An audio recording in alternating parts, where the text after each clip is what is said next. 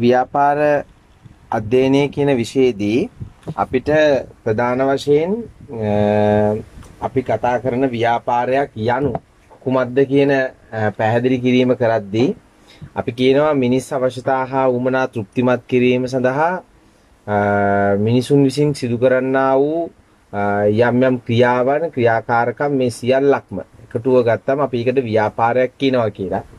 එතකොට ඒ ව්‍යාපාරය තුල මිනිස් අවශ්‍යතා වුණා තෘප්තිමත් වීම අනිවාර්ය සාධකයක්.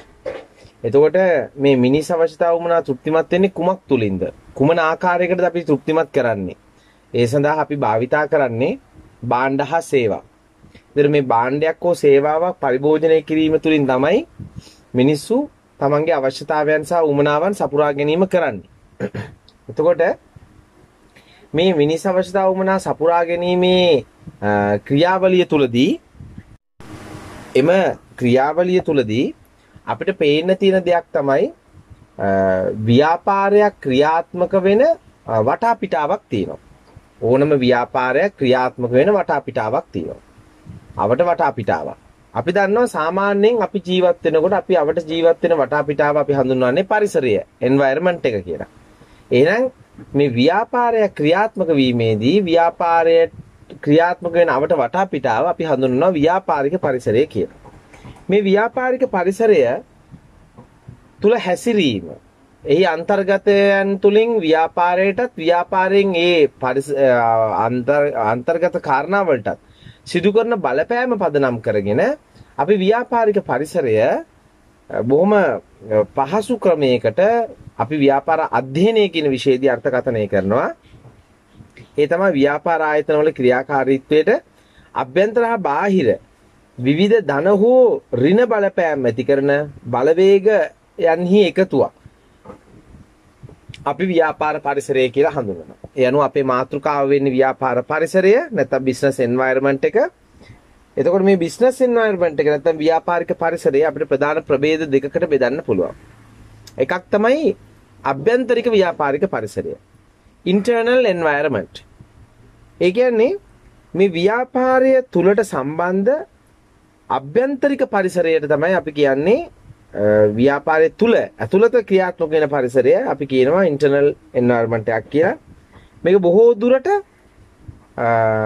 එකී සාධකයන් තුලින් ඒ ව්‍යාපාරය තුලට සම්බන්ධ අභ්‍යන්තරික සාධකයන් තුලින් ව්‍යාපාරයට එල්ල කරන ධන හෝ ඍණ බලපෑම් ව්‍යාපාරයට පාලනය කිරීමේ හැකියාවක් තියෙනවා. ඒ වගේම මේ අභ්‍යන්තරික ව්‍යාපාරික පරිසරය තුලින් ව්‍යාපාරයට ධනාත්මක බලපෑම් ඇති කරනවා නම් ඒවා අපි හඳුන්වන්නේ ශක්තියින් කියලා. ඍණාත්මක බලපෑම් ඇති කරනවා නම් ඒවා අපි සලකන්නේ දුර්වලතා විදියට. දැන් අපි බලමු මොනවද අභ්‍යන්තර පරිසරයට වැටෙන්නේ. අභ්‍යන්තරික පරිසර සාධකයේ විදියට අපිට ගන්න පුළුවන් ව්‍යාපාරයේ අයිතිකරුවෝ, ගනුදෙනුකරුවෝ, කළමනාකරුවෝ, සැපයුම්කරුවෝ, සේවකයන්, අතරමැදියන් මේ විදියට අපිට අභ්‍යන්තරික පරිසරය විදියට ගන්න පුළුවන්. මේ අභ්‍යන්තරික පරිසරය තුල දැන් අයිතිකරුවන්ගෙන් ධනාත්මක බලපෑමක් හෝ ඍණාත්මක බලපෑමක් තියෙනවා නම් ඒ ඕනම දෙයක් ව්‍යාපාරයට පාලනය කිරීමේ හැකියාවක් තියෙනවා.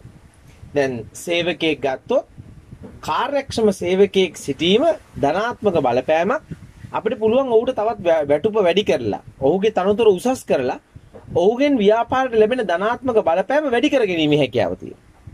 ඒ වගේම දුර්වල සේවකයෙක් ඉන්නවා නම් ඔහුට අවවාද කරන්න පුළුවන්. ඔහුගේ පඩි අඩු කරලා ඔහුව දඬුවමකට ලක් කරන්න පුළුවන්. එහෙම නැත්නම් ඔහුව සේවයෙන් නිරපාරින්න පුළුවන්. ඒ කියන්නේ ව්‍යාපාරයට ඒ අදාළ බලපෑම පාලනය කිරීමේ හැකියාව තියෙනවා. එහෙනම් අභ්‍යන්තරික පරිසරය තුල අපිට දෙවෙනියට අපිට පේන්න තියෙන දේ තමයි අර ඉස්සෙල්ලා මම කිව්ව දේ දැන් දක්ෂ අත්දැකීම් බහුල සේවකයෙක් සිටීම ව්‍යාපාරයට ශක්තියක්. ඒ ව්‍යාපාරය දියුණු කරගන්න ව්‍යාපාරය ඉදිරියට ගෙන යන්න එක ශක්තියක්. නමුත් කම්මැලි කඩාකප්පල්කාරී සේවකයන් සිටීම ව්‍යාපාරයේ දුර්වලතාවයක්. දැන් ඔයගලන්ට පැහැදිලි වෙනවා ඇති.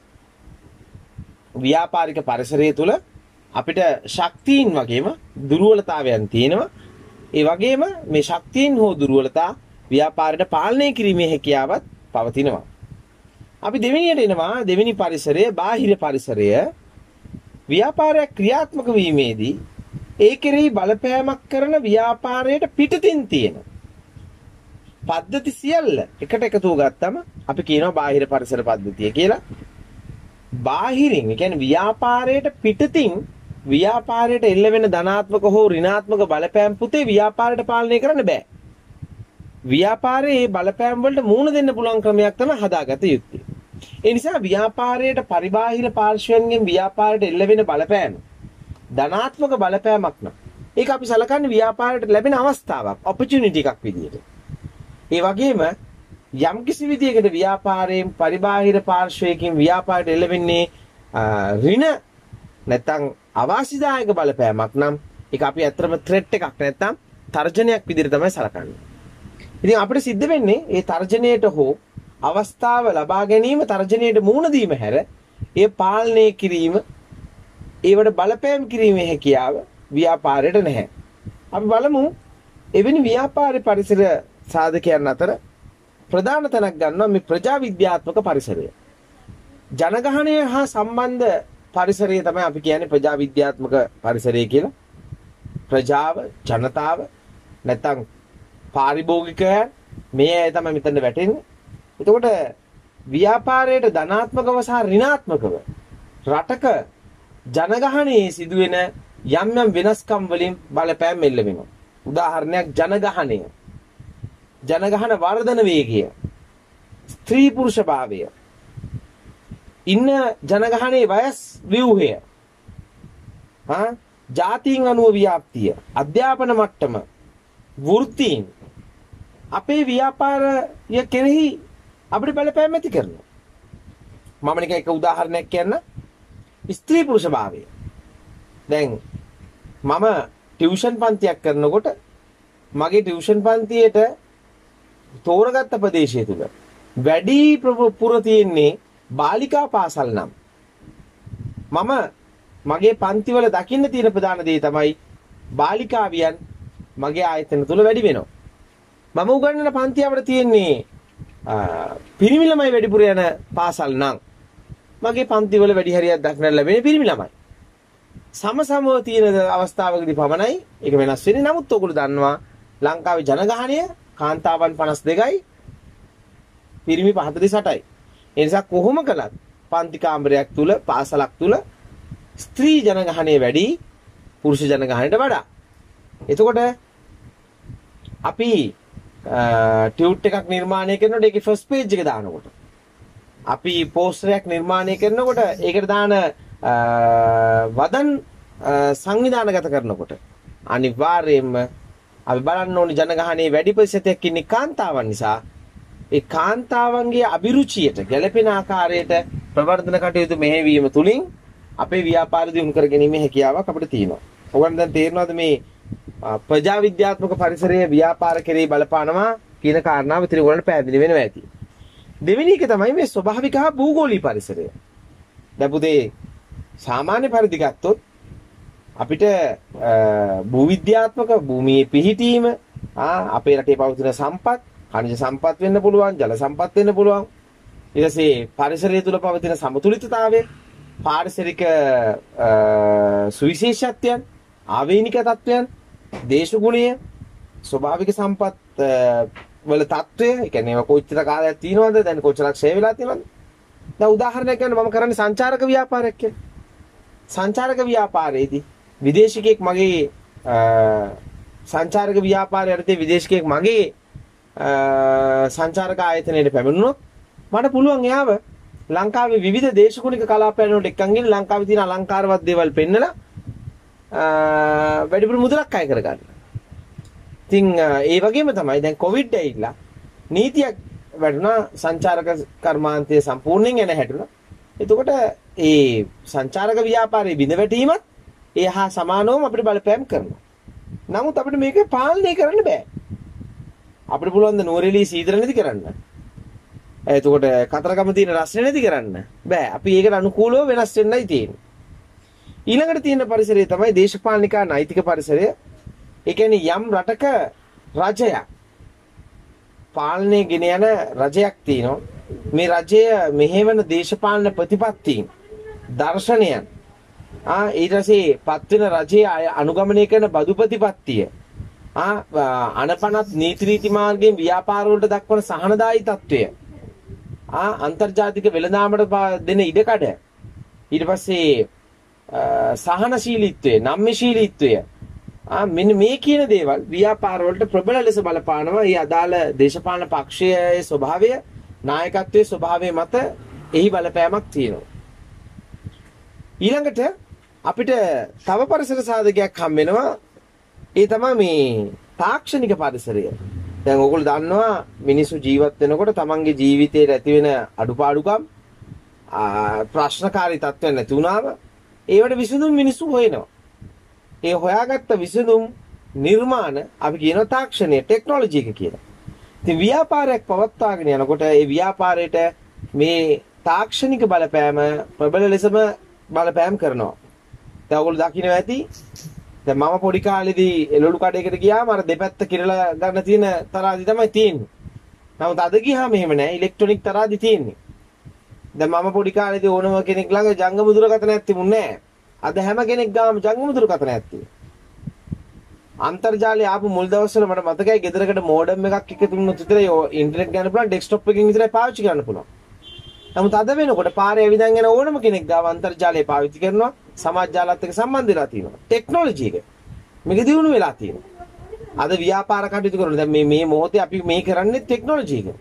අපිට කොවිඩ් නිසා බැරි වුණා කියලා අපි ව්‍යාපාරේ නතර කරලා නැහැ. තාක්ෂණය භාවිතා කරලා අපි මේක කරගෙන යනවා. ඊළඟට ආර්ථික පරිසරය. ආර්ථික පරිසරය කියලා කියන්නේ ඕනම රටක් පවත්වාගෙන යනකොට ඒ රටේ ආදායම් වියදම් තත්ත්වය මෙහෙවන මූල්‍යමය තත්ත්වය මෙහෙවන පද්ධතිය අපි කියනවා ආර්ථික පරිසරය කියලා. ඒතර රටේ ආදායම වියදම රටේ බඩු මිල ඉහළ යාම ඒවත් උද්දමනකාරී තත්ත්වය ජීවන වියදම ඉහළ යාම මිනිහෙක්ට ජීවත් වෙන්න තියෙන ඉඩකඩ දැන් මිනිහෙක් හම්බ කළාට මදි. ඒ හම්බ කරන මුදල දැන් වියදම් වෙන ප්‍රමාණය වැඩි. එතකොට රටේ බඩු මිල අමුද්‍රව්‍ය මිල වැඩි වෙනකොට නිෂ්පාදන වල මිල ගණන් වැඩි වෙනවා. ආ පුද්ගලයෝ ඉතිරි කළොත් තමයි ඇත්තටම ගත්තොත් ටීවී එකක් කැසට් එකක් එහෙම නැත්නම් ප්‍රාග්ධන භාණ්ඩයක් ගන්න. එහෙනම් පුද්ගලයන්ගේ අතේ සල්ලි නැත්නම් ඉතිරි කිරීම අඩු වෙනවා නම් ආයෝජනයේ සඳහා යන මුදල් අඩු වෙනවා. පොලි අනුපාතිකය. දැන් ওই ගෙවීමේ ක්‍රමයට භාණ්ඩයක් වුණත් දෙනකොට ඒක තමයි අපි කියන්නේ අර ගෙවීමේ ක්‍රමයට යනවා. එතකොට මෙන්න මේ වගේ වාසි තියෙනවා කියලා කියන්නේ ඒ රටේ පවතින ආර්ථිකමය තත්ත්වය. විදේශ විනිමය අනුපාතය. ඒකත් බලපානවා. දැන් මට මතකයි දැන් අවුරුදු දෙකකට කලින් අපේ ගෙදරට ටයිල් කැටයක් ගෙනාවා. එතකොට ඇමරිකානු ඩොලර් එක තිබුණේ 180ට. එතකොට මේ ටයිල් කැටේ රුපියල් 100යි නම් 100යි නම් දැන් ඇමරිකානු ඩොලර් එක 250ලා ගිහලා තියෙනවා. අර ටයිල් කැටේමයි දැන් එන්නේ. හැබැයි ටයිල් කැටේ මිල වැඩි වෙලා තියෙනවා. මොකද මේ විදේශ විනිමය අනුපාතිකයේ තියෙන අපේ මුදලේ අවප්‍රමාණය වීම. ඊට පස්සේ බදු ගවර්න්මන්ට් එක අය කරන බදු වර්ග නිසාත් භාණ්ඩවල මිල ගණන් වලට බලපෑම් කරනවා. මේකත් ව්‍යාපාරයට පාලනය කරන්න බෑ. මූණ දෙන්නයි තියෙන්නේ. ඕගොල්ලෝ ගන්න වාහන වලින් 300ක් තියෙන බදු. ආයෝජනය මුදල් ආයෝජනය කරන පිරිස් සිටිය යුතුයි. ඔවුන් තමයි ව්‍යාපාරය කෙරෙහි ඒ කියන බලපෑම් ඇති කරන්න මුදල් ආයෝජනය කළේ නැත්නම් ව්‍යාපාර දියුණු කරන්න බෑ සංවර්ධනය වෙන්නේ නැහැ එහෙනම් ආයෝජකයෝ රට තුළට පැමිණීම මේ හරහා සිදු වෙන්න ඕනේ ඊළඟට අපිට තියෙන සමාජ සංස්කෘතික පරිසරය. ඒ කියන්නේ මිනිසුන්ගේ තියෙන විශ්වාසයන්. ආ? යම් යම් වැලියුස් වටිනාකම්. ආ ඊට පස්සේ ආකල්ප ඇටිටියුඩ්ස් සිරිත් පිරිත් අපි කියනවා මේ සංස්කෘතිය සමාජීය තත්වයන් කියලා. ආ? ඒ කියන්නේ සමහර වෙලාවට උදාහරණයක් විදිහට ගත්තොත් විවිධ ආගමික විශ්වාසයන් කරනකොට ඒ ආගමික විශ්වාසයන් සඳහා පවතින පුද පූජා සඳහා ඕගොල්ලෝ දැකලා දැන් නවගමුවට හරි කොතන හරි ගියාම ඔයගොල්ලන්ට පේන ඉතින් පළතුරු වට්ටි වික්කනවා බිස්නස් එකක් එක. සමහර පළතුරු වට්ටි විකුණන එක්කන කවදාකවත් දේවාලට ගිහින් නැතුව ඇති. හැබැයි එයා දේවාලට එන මිනිස්සුන්ට පළතුරු වට්ටි විකුණනවා. හරි? ඉතින් ඒ වගේ ව්‍යාපාරයක් කරගෙන යනකොට ඒ ව්‍යාපාරයේ කෙරෙහි එම රටේ තියෙන සංස්කෘතිකත්වය සමාජීය තත්ත්වයන් බලපාන. දැන් ඉන්දියාවට ගියාම බුද්ධගයාවට ගියාම ඒ ප්‍රදේශයේ ඒ අපට ඉන්න මිනිස්සු මුදල් හම්බ කරගන්නවා. ඒක ප්‍රයෝජනට අරගෙන. ලංකාවේ දළදා මාලිගාව ළඟ කොච්චරනම් මල් විකුණලා සල්ලි හම්බ කරනවද? අණ්ඩාදුපුරයට යන තැන කොච්චරනම් මල් විකුණලා සල්ලි ගන්නවද? කතරගම දේවාලයට යන තැන කොයිතරම්නම් පළතුරු වට විකුණලා සල්ලි ගන්නවද? ඒ කියන්නේ මිනිසුන්ගේ විශ්වාසයන් පදනම් කරගෙන යම් යම් ව්‍යාපාරයන් ක්‍රියාත්මක වෙනවා. ඒ ඒ හරහා මුදල් උපයා ගැනීම, දියුණු කර ගැනීම කරන්න පුළුවන්. ඒ අනුව අපි පිළිගන්නවා අපි පොඩි කාලට වඩා අනාගතයේදී මේ විශ්වයේම එකම ගම්මානයක් වෙලා තනි රටක් බවට පත් වෙනවා. මේ රට රටවල් බෝඩර්ස් මේකක්වත් නැහැ. දැන් මට මේ මොහොතේ ඇමරිකාවත් එක්ක සම්බන්ධ වෙන්න ඕන නම් තප්පර ගාණයි යන්නේ. ඉන්නේ යාළුවා ටක් ගාලා කෝල් එකක් දුන්නු ගමන් යනවා. ඉස්සර තමයි IDD කෝල් වල ලොකු ගණන් යන්නේ. දැන් කෙලිම WhatsApp, imo ආ මේ වගේ දේවල් පාවිච්චි කරලා තප්පර ගාණක් ඇතුළත අපිට සමතතාවයක් ඇති කර ගැනීම ආ ළඟ ඉන්නවා වගේ කතා කරන්න මේක තමයි අපි කියන්නේ ගෝලීයකරණය වෙලා. අර බෝඩර්ස් නැති වෙලා මුළු විශ්වයේම එකම ගම්මානයක් බවට පත් වෙලා. හරිද? ඒ වගේම මිනිසුන්ගේ විවේක කාලය අඩු වෙලා. ඒ නිසා මිනිස්සු ගෙදරාවම ගොඩක් වෙලාවට අර මේ අර මොනද සම්භාව්‍ය මට්ටමේ දේවල් නෙමෙයි. ටිකක් මානසික සහනයක් දෙන දේවල් වලට තියෙන නැඹුරුව විනෝදාත්මක දේවල් සඳහා වැඩි නැඹුරුවක් ඇවිල්ලා තියෙනවා. අද ඒ වගේම අර ලොකු ගැඹුරු දේවල් බලන්න ඒක තමයි ওই දෙවිනීනිම සංගීතය වගේ නාට්‍ය වලට අපි වැඩිපුර කැමැත්තක් දක්වන්නේ ඒකයි. මොකද අර ගුණාත්මක හරවත් නාට්‍ය බලන්න අපේ මනස නිදහස් නැහැ. ඉතින් අපි අර මේ කිසිම තේරුමක් නැති බොරු මායාකාරී දේවල් බල බල ඉන්නවා. hina වෙවි බලනවා නමුත් අද බැනලා හෙටත් බලනවා. ඉතින් මේ ඔක්කොමත් එක්ක අපි ඊළඟට එනවා ව්‍යාපාරයේ කෙරෙහි සිදු කරන ධනාත්මක හා ඍණාත්මක බලපෑම් සංසන්දනය කරලා බලන්න පුළුවන් ක්‍රමවේදයක් ගැන තියෙන යම් යම් විශ්ලේෂණාත්මක තියරි නැත්නම් මෙතඩ්ස් කීපයක් ගැන අපි කතා කරමු. දැන් අපිට ඒ විදියට තියෙන ප්‍රධාන පරිසර විග්‍රහයන් කරන්න පුළුවන් විශ්ලේෂණ දෙකක් තියෙනවා. එකක් තමයි පෙස්ට් ඇනලයිසේෂන් කියන එකයි අනිත් එක තමයි ෂදු අත හේවත් ෂොට් ඇනලයිසේෂන් කියන එකයි. දැන් පෙස්ට් ඇනලයිසේෂන් එකෙන් කරන්නේ ඇත්තටම බාහිර පරිසර සාධකයන් උපයෝගී කරගෙන ව්‍යාපාරයකට බාහිර පරිසර සාධකයන් තුලින් එල්ල වෙන බලපෑම පිළිබඳව කරනු ලබන විශ්ලේෂණාත්මක විග්‍රහයක් කරහා පැහැදිලි කිරීමක් කරනවා නම් දැන් එතන පෙස්ට් කියලා කියන්නේ P අකුරෙන් political uh, E අකුරෙන් economical uh, S අකුරෙන් um, social and cultural environment එක uh, T අකුරෙන් තාක්ෂණික ඒවා ටෙක්නොලොජිකල් environment එක. ඒක තමයි short මේ pest analyzation එකෙන් කියවෙන්නේ. ඒ කියන්නේ ව්‍යාපාරයක් කරන් යනකොට දේශපාලනික පරිසරයෙන් ආර්ථික පරිසරයෙන් සමාජ හා සංස්කෘතික පරිසරයෙන් තාක්ෂණික පරිසරයෙන් සහ මේ ඒ කියන පරිසර සාධකයන් තුලින් බාහිර පරිසර සාධකයන් තුලින් ඇතිවන බලපෑම පිළිබඳව කරනු ලබන විග්‍රහය. ඒවෙන් කොයිතරම් බලපෑමක් එල්ල වෙනවද? ඒ බලපෑම අනුව ව්‍යාපාරයට සිදුවෙන කාරණා මොනවද කියන එක සොයා බලන්න තමයි මේ ඒ ඇනලයිස් වෙන්නේ. ඒ කියන්නේ අතර මෙන්න මෙහෙමයි පුතා උතන වෙන්නේ. අපි බලනවා ව්‍යාපාරයක් රටක ව්‍යාපාරවලට දේශපාලනික වශයෙන් එල්ල කරලා තියෙන බලපෑම් මොනවාද? හොඳ නරකද? ඔයගොල්ලෝ අහලා තියෙනව නේද? අර එක එක තත්ත්ව දර්ශකයන් තියෙන්නේ. දැන් ඔයගොල්ලන් ටීවී එකේ මේ අහන්නේ එල්සි නීල්සන් ආයතනයේ පරීක්ෂණය අනුව වසරේ ජනප්‍රියම ටෙලිනාට්‍ය නළුවා ටෙලිනාට්‍ය නිලිය අන්න එහෙම තෝරන්නේ අන්නේ වගේ ව්‍යාපාර කටයුතු වලට පොලිටිකල් වලින් එල්ල කරලා දේශපාලනික වශයෙන් තියෙන බලපෑම් මොනවාද හොඳද නරකද ඒක යහපත් පැත්තට තියෙන්නේ අයහපත් පැත්තටද ආ ඒතර මතක තියාගන්න ඕන දේ තමා පෙස්ට් ඇනලයිසේෂන් එකෙන් කරන්නේ බාහිර පරිසරය තුලින් ව්‍යාපාර වලට එල්ල කරන බලපෑම පිළිබඳ ඇගීමක් තමයි කරන්නේ. නමුත් ජනප්‍රියම ක්‍රමය වෙන්නේ පුතේ මේ ෂදුවත කියන එක. ඒ කියන්නේ ෂොට් ඇනලයිසේෂන් එක.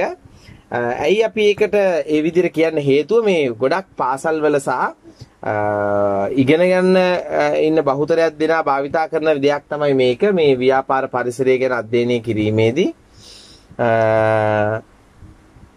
ඒ තමා මේ disconnected. දැන් ශද්දු අත ඒ කියන්නේ ෂ කියන එකෙන්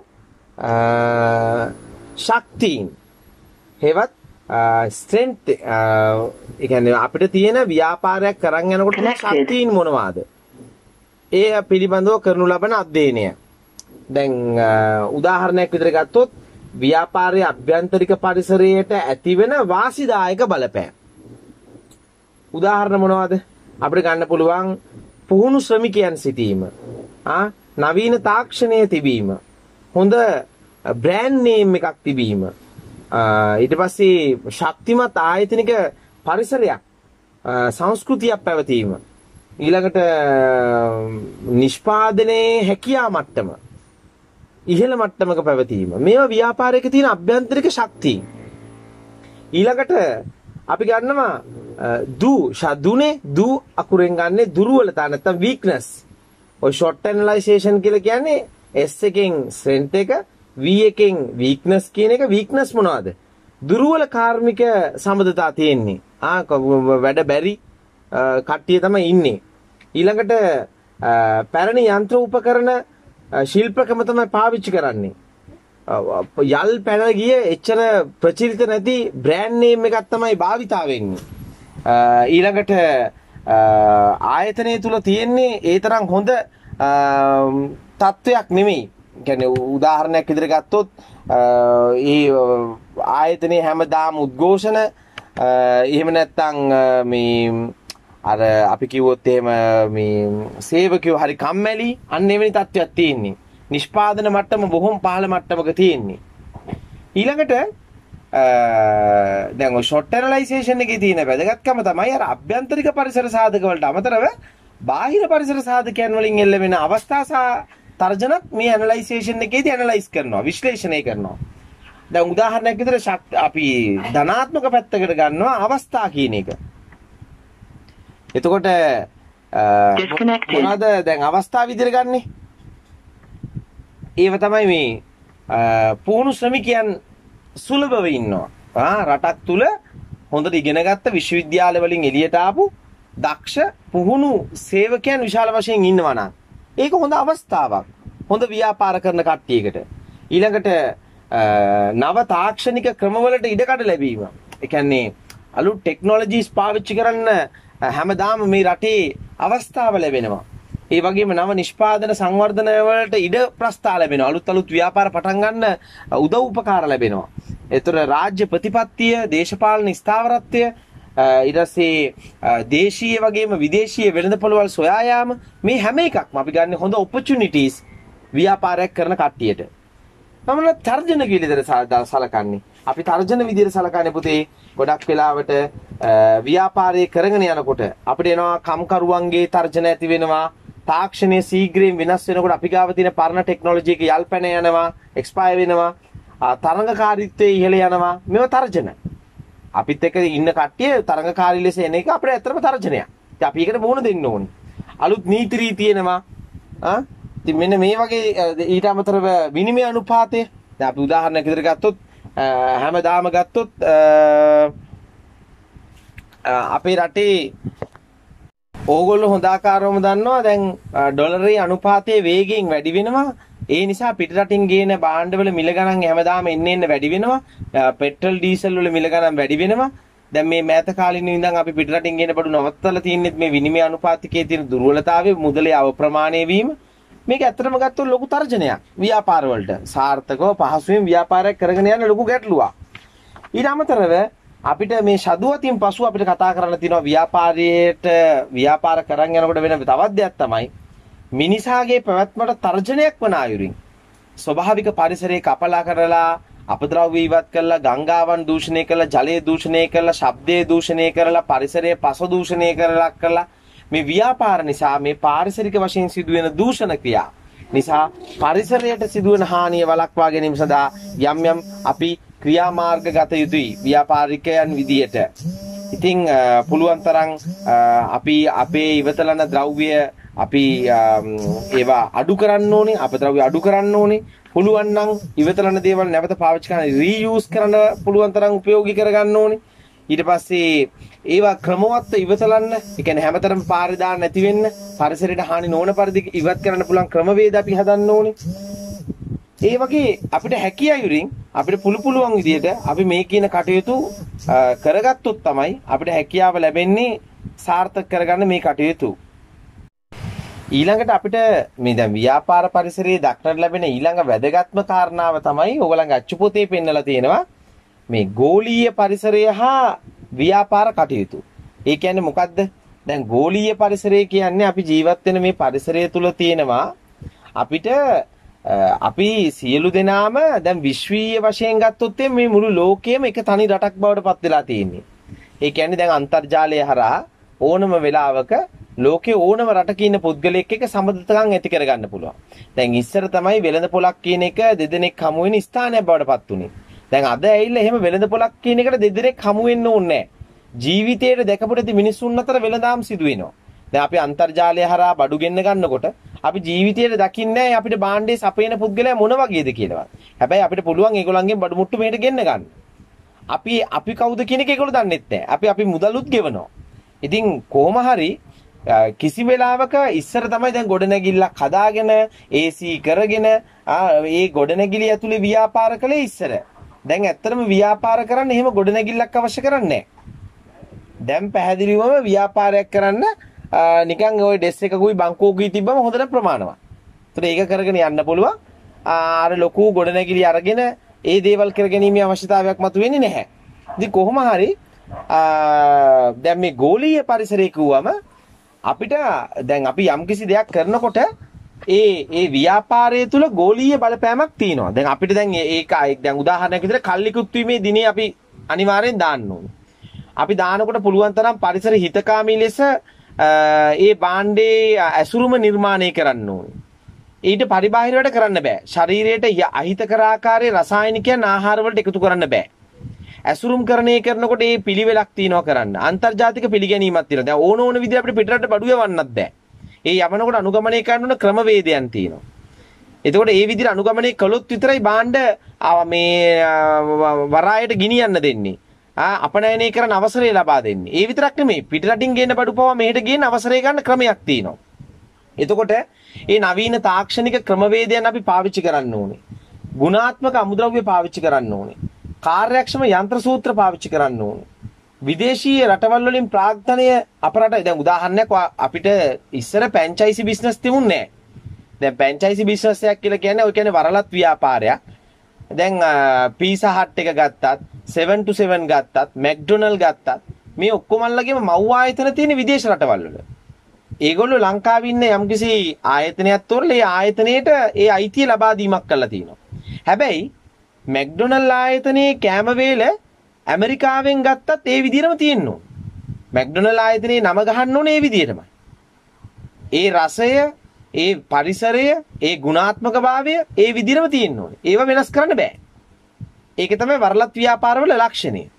එතකොට දැන් ෆුඩ් සිටි සංකල්පය ගන්නකො. දැන් ෆුඩ් සිටි ගත්තම ෆුඩ් සිටියක් වෙන්න කලින් ඉස්සර අපි පුරුදු වෙලා තිබේ පොඩි පොඩි සිල්ලර කඩවල් වලට.